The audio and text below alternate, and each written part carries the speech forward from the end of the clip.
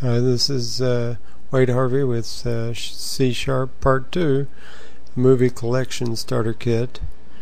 We'll do three things in this tutorial. We'll use the desktop template uh, that's included with uh, C Sharp to get the Amazon Web Enabled Starter Kit. We'll install that starter kit secondly, and then we'll run the movie uh, collection application to help you get familiar with it.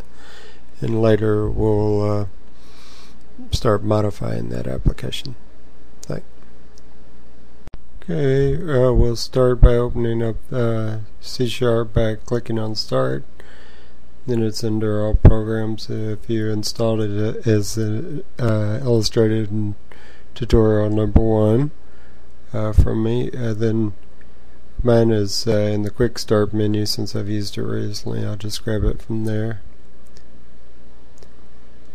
Okay, so it opens up.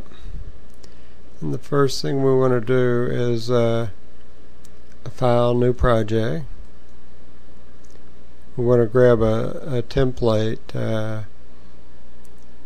it shows the uh, it installed templates that come with uh, Visual uh, C Sharp. So, movie collection uh, is the one we're interested in. We'll click on that.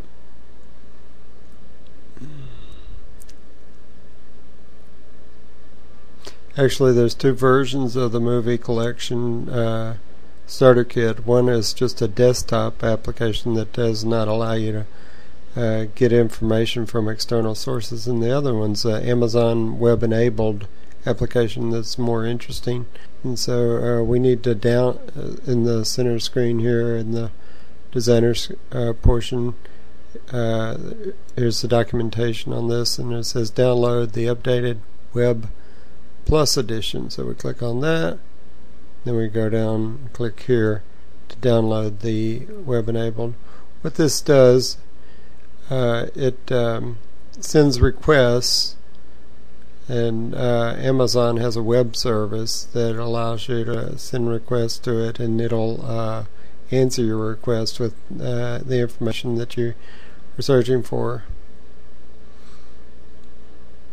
So you get uh, a lot more information. So here, here it is, the Amazon enabled movie collection starter kit. And we want the C sharp version, not the Visual Basic one. So we're going to download this uh, starter kit. So we scroll down and we say I, I accept. And we save it. Uh, then we open it or run it, depending on which uh, Explorer you use, and then you accept the terms. And that says that it's uh, going to install the starter kit. Yes, we want to. It's ready and click finish to install it. We do that. I've already done this before, so I need to overwrite it and installation completed successfully. So we close this and now when we go up to file new project we'll have um, we must discard uh, you can save or discard. Discard is what we really want to do. The current project that was open because that was the disk uh, version. What we want is the um, Amazon enabled. So now when under my templates you'll have this new icon that says Amazon enabled movie collection. So you double click that and that's going to open up your uh, starter kit. So uh, this involves uh, connecting to a database and uh, one problem you may encounter is that the uh, need to have remote uh,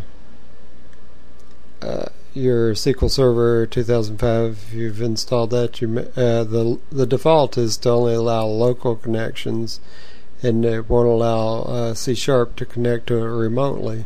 So to fix that, you have to go to Start All Programs, SQL Server Configuration Tools, Server uh, Surface Area Configuration and then uh, you click on this at the bottom and this allows you to specify that you want uh, this is my name of my server.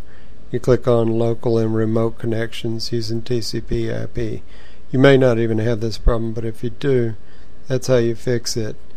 Okay so um, so here's the database it connects to and to run the application you can click uh, this green arrow or you can uh, press F5 either one will run the application. So we're going to go ahead and run the application to try and get familiar with it before we start making any modifications to it in the next tutorial. This is just to demonstrate the power that you full things that you can do with uh, C C sharp So uh, we want to search online to use this Amazon enabled uh, capability. And let's say we're searching for programming DVDs.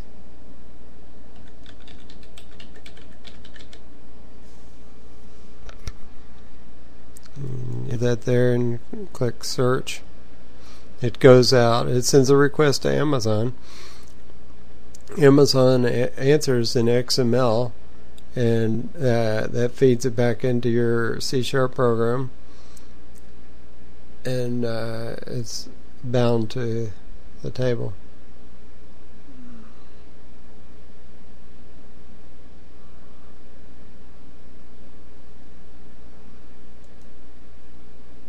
Okay, there's some reason it bounced out of there. I'm sorry. Uh, there's the results that Amazon sent back and here's one on Visual Basics uh, net so we would be interested in that. And this gives you the details from Amazon. I'm not sure why we get a red X for this one but so uh, we can uh, search online again for C sharp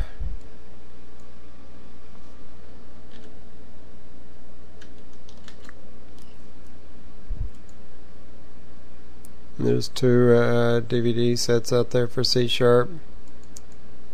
Click on them. Mm, here we get a. Uh, some reason the images are not appearing, but uh, this is the information from Amazon here.